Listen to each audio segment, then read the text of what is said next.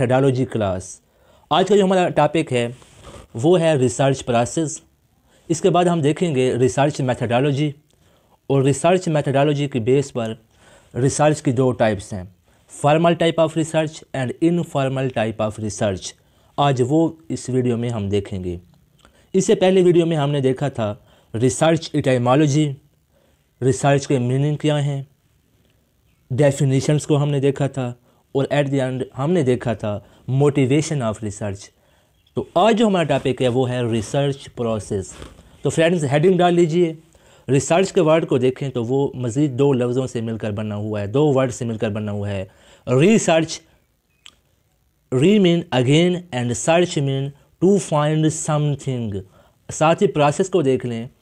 Process क्या है? Step by step organised approach means कि ये क्या है? रिसर्च प्रोसेस एक ऑर्गेनाइज्ड अप्रोच है. स्टेप बाय स्टेप आप चलते हैं. सिस्टमेटिक वे से आप रिसर्च करते हैं. वो किस तरह? कि आप क्या करते हैं कि एक टॉपिक के मुतालिक आप थिंकिंग करते हैं कि आया ये टॉप ये जो हम रिसर्च करने जा रहे हैं किसी टॉपिक पर, वो एक साल में छः महीने में हो सकती है, नहीं हो सकती?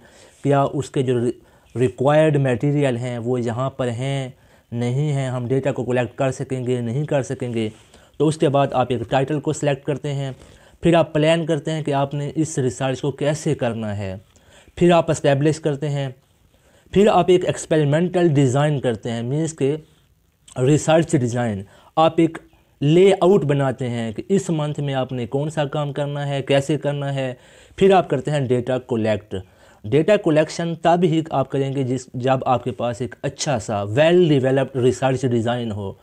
आप वेल डिवेलप रिसर्च डिज़ाइन होने के साथ साथ आपने डेटा कलेक्शन, आपने कोई ऐसा, आप क्या कर रहे हैं कि अगर आप डेटा कलेक्ट कर रहे हैं इंटरव्यू की फॉर्म में कर रहे हैं क्वेश्चनियर की फॉर्म में कर रहे हैं तो आपने एक ऐसा क्वेश्चनियर बनाना है जिसके ज़रिए आप डेटा आराम से इजीली कलेक्ट कर सकें। डेटा कलेक्शन भी इंपॉर्टेंट स्टेप है प्रोसेस है।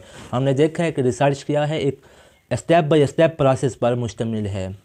जब आपके पास डेटा आ जाता है, जब आप डेटा कलेक्ट कर लेते हो, उसके बाद आप क्या करते हो? Data analysis different statistical software को यूज़ करके आप क्या करते हैं? डेटा को एनालिसिस करते हैं। एनालिसिस के बाद आपके आ जाते हैं रिज़ल्ट फिर आप रिज़ल्ट को क्या करते हैं? डिस्कस करते हैं। फिर आपके पास एक स्टेप आता है कंक्लूजन का, जिसमें आप बताते हो कि आपके पास ये रिज़ल्ट आए हैं तो क्यों आए हैं, कैसे आए हैं? और फिर आप एंड एट द एंड आप करते हैं रिकमेंड दूसरों को कि इसमें जो है, इस आस्पेक्ट से काम हो सकता है, इसमें ये रिसर्च गैप आप बताते हो, ठीक है? कि इसमें इस हवाले से ये कमी रह गई है, आप इस हवाले से भी इस टॉपिक पर रिसर्च कर सकते हैं। तो रिसर्च प्रोसेस क्या है? एक step by step systematic way से आप करते हैं, एक सिस्टमेटिक वे है। Research is an organised approach or inquiry carried out to provide information for solving problems आप क्या करते हो कि जब आप एक प्रॉब्लम को फार्मूलेट करते हो, उसके बाद आप डेटा को कलेक्ट करते हो एनालिसिस करते हो तो आप क्या करते हो? पॉसिबल सॉल्यूशंस को ढूंढते हो। तो पॉसिबल सॉल्यूशंस को ढूंढना, वो क्या कहलाता है? आपका रिसर्च कहलाता है। आप प्रॉब्लम को सॉल्व करते हो, आप नए नए फैक्ट्स को ढूंढते हो। नए नए आइडियाज़ को ढूंढ कर लाते हो तो इसको कहते हैं रिसर्च से फॉर एग्ज़ाम्पल आपके पास एक टॉपिक है effect of drought stress on wheat तो इसके लिए आप क्या करते हैं कि अगर आपने इफ़ेक्ट देखना है ड्रॉट स्ट्रेस का वीट पर तो आप क्या करोगे कि आप पहले जो है वीट का जो सीड है, आप उसको सो करोगे।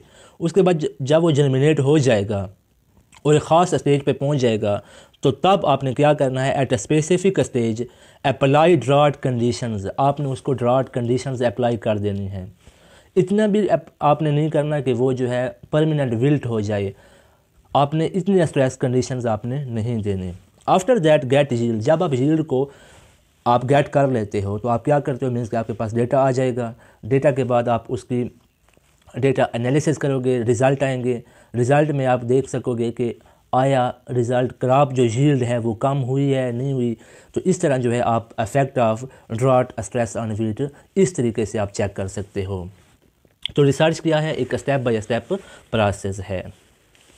अब हम देख लेते हैं रिसर्च मैथडोलॉजी रिसर्च मैथडोलॉजी क्या है कि आप क्या कर रहे हो, आपने रिसर्च कैसे करनी है, आप कौन सा मेथड यूज़ करने वाले हो, इसी बेस पर हमारे पास रिसर्च की मज़ीद दो टाइप्स हैं formal type of research and informal research formal type of research को देख लेते हैं।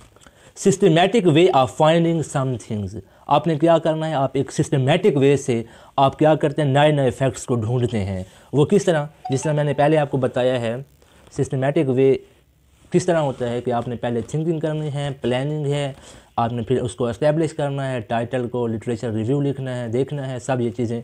उसके बाद आप एक्सपेरिमेंटल डिज़ाइन ये फोर्थ स्टेप पे है। फिफ्थ स्टेप जो है, आपने डेटा कलेक्ट करना है, फिर डिफरेंट स्टैटिस्टिकल सॉफ्टवेयर यूज़ करके आपने डेटा को एनालिसिस करना है रिज़ल्ट पे आप पहुँचेंगे, उसके बाद आपने क्या करना है रिज़ल्ट को डिस्कस करना है conclusion at the end recommendation this whole process is formal type of research इस होल प्रोसेस को हम क्या कहते हैं? ये फॉर्मल टाइप ऑफ़ रिसर्च है। In this method steps are constant इस मेथड में फॉर्मल टाइप ऑफ़ रिसर्च में ये जो स्टेप्स हैं, ये कांस्टेंट रहेंगे। अब हम देख लेते हैं informal type of research no systematic way of finding something इसमें आप इस तरह के जो स्टेप्स हैं, वो कांस्टेंट नहीं होते। आपने इन को फॉलो नहीं करना होता। सिस्टमेटिक वे से जब आप रिसर्च डेटा को फाइंड नहीं करते तो इसको कहते हैं इनफॉर्मल टाइप ऑफ़ रिसर्च जैसे आपने देखा था, हमारे पास लेटर्स दो किस्म के होते हैं। Formal type of letters and informal type of letters formal type हमने क्या देखा था कि आप एक ख़ास रूल्स रेगुलेशन को फॉलो करते हो जबकि इनफॉर्मल टाइप ऑफ़ लेटर में आप अपने दोस्तों को लिखते हो, अपने रिश्तेदारों को लिखते हो तो आप वहाँ पे कुछ रूल्स रेगुलेशन को फॉलो नहीं करना होता। तो same is the case here informal type of research में भी आपने सिस्टमेटिक वे से नहीं जाना होता। So for example if you are app developers after upload an app you see the feedback and comments so for example अगर आप app developers हो और आपने एक ऐप को अपलोड कर लिया तो जो डिफरेंस आपके जो ऐप डाउनलोड करेंगे, उनके कमेंट्स आएँगे। आपने उनके कमेंट्स को चेक करना है, उनके फीडबैक को देखना है। If you receive negative comments so for example अगर आपने, आपको रिसीव हो रहे हैं नेगेटिव कमेंट तो फिर आप क्या करेंगे? Then you will change something आप उसमें सम चेंजेस लाएँगे, उसकी सम सेटिंग्स को आप क्या करेंगे?